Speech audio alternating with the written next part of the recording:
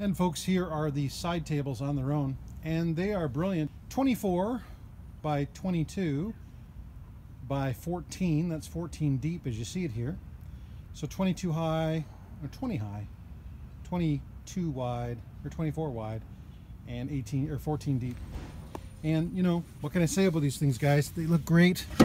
Dual drawer design, nice solid wood interiors, dovetail joints, the bowing on the front, very luxurious. Nice pedestal design. These tables were loved. And the best part is, is that you get to buy them on the cheap.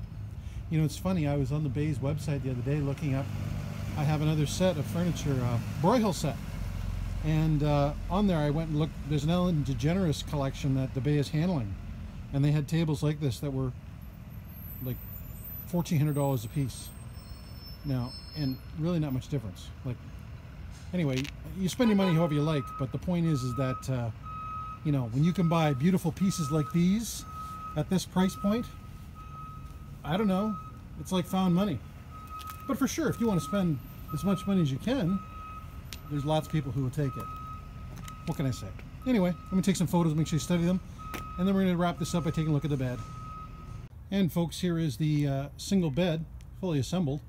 Again, that's the headboard up there and the footboard uh, the middle is put together with these metal uh, side rails and they accommodate a standard size single aka twin bed.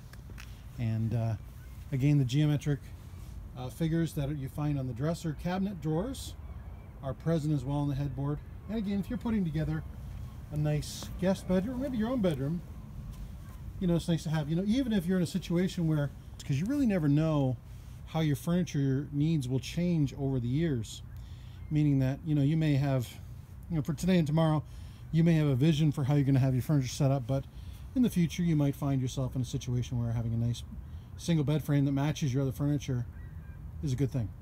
So show that folks. If you like what you see best part is that when you reach out i'm going to get back to you almost immediately. You'll see it's exactly as i've described.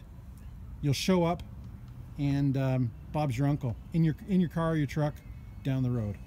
So sure that guys. Send me a text email or phone call and I'll sell it to you.